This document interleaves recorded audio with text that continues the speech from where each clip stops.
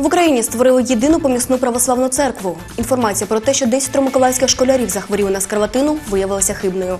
В ефірі телевізійні новини Миколаївщини в студії для вас працює Світлана Кльосова. Протягом прямого ефіру на екранах ви бачитимете нашу електронну адресу, за якою зможете звертатись до редакції, а також посилання на наш Ютуб канал та сторінку в мережі Фейсбук. Доброго ранку.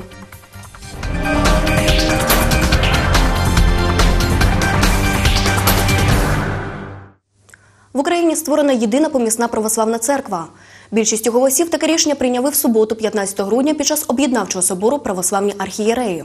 Про те, що зміниться для вірян Миколаївській області та про план на майбутнє, журналісти Суспільного поговорили з протоєреєм Романом, старшим священником кафедрального собору Касперівської ікони Божої Матері. Я думаю, що це велика е, перемога для е, православної церкви, зокрема е, для тих, хто брав участь у цьому об'єднавчому процесі, тому що з даного часу православ'я України є канонічно обґрунтованим і, одержавши Томос, ми увійдемо у родину православних церков, де займемо поки що 15 місце після чеського митрополита Ростислава. До об'єднання у єдину помісну православну церкву запрошують і представників Української православної церкви Московського патріархату. На момент зйомки, говорить отець Роман, з боку служителів цієї церкви пропозицій про перехід не поступало. Ми готові до діалогу. Ну це вирішує надзвичайний священик, це вирішує архієреї, от вирішується на вищому рівні. Але якщо будуть такі бажання, то е, ми відкриті для діалогу. Окрема парафія, говорить отець Роман, може приєднатися до помісної церкви. Для цього треба рішення громади.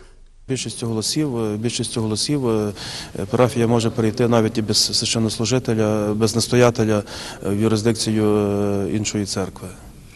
Це, є, це їхнє, це їхнє законне право. Це їхнє законне право.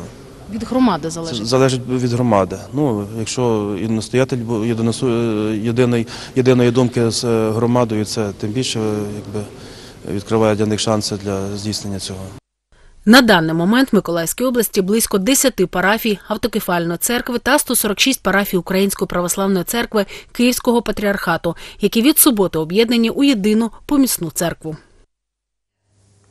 В управлінні охорони здоров'я Миколаївської міської ради спростували інформацію про те, що 10 учнів загальноосвітньої школи номер 50 захворіли на скарлатину.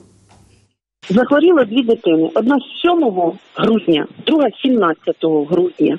На сьогоднішній день діти в стані середньої важкості проходять амбулаторне лікування під наглядом медичних працівників. Скарлатина – інфекційна, інфекційна хвороба, викликана стрептококом групи А. Проявляється висипом, лихоманкою, загальною інтоксикацією.